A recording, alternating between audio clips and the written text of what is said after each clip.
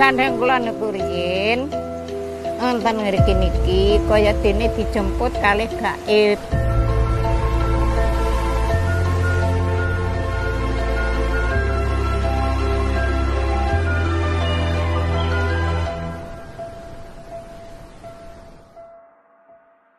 Iwa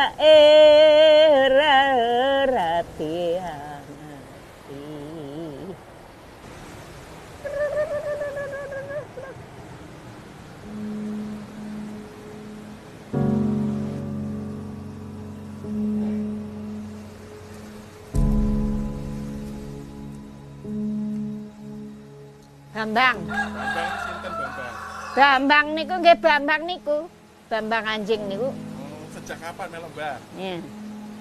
Kan umur 15 dino. Nggih. Nggih. Niki gadane warung ngriko, ngene Pak Kartono nika, warung jen sing ana cakrike.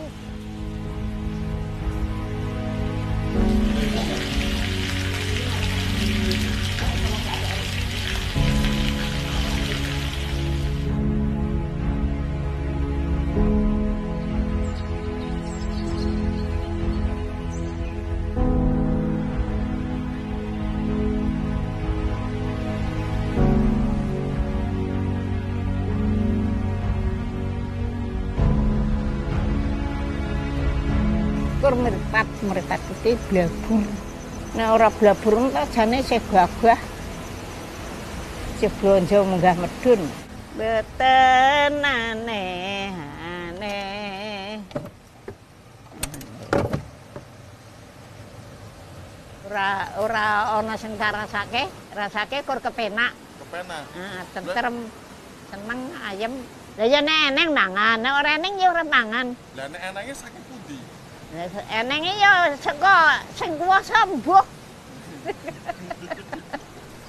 Karena Nasam, terus kayak ya.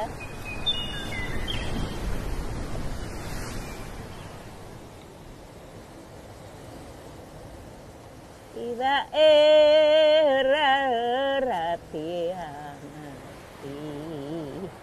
Dua kejawaban jaluk wedang, oh. njaluk jaluk anu madang sego. Kon masake super mie ngoten niku. oh Nggih suka ngoten niku. bantu-bantu sing Ya yang nggih. nggih.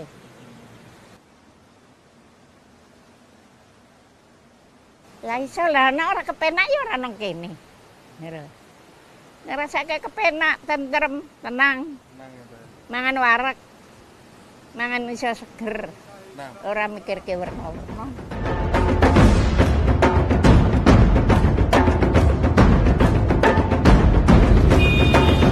Sebenarnya apa yang dilakukan Mbah Ijem itu adalah pola hidup asketis, asketis, eh, menyepi dari dunia ramai. Dan itu kalau ditelusur dari sejak jejak-jejak budaya Jawa itu sudah sudah ada sejak, sejak dulu. Bahkan itu sebenarnya tidak hanya dominasi budaya Jawa saja, tapi juga budaya lain orang ingin kemudian mencapai keseimbangan dan ketenangan hidup itu kemudian memisahkan diri dari dunia ramai.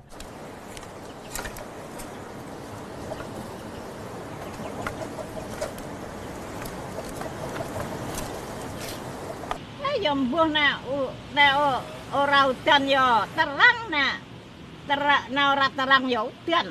Lah aku ya di omah nang kene iki janjane. teng pundi? Ten panggang ngriki. Oh, nggih. Aku iki seneng urip ijen ora gelem gawe repote anak. Rek aku meneng ndi lho gendoko. Bilang nyatane aku anane seneng.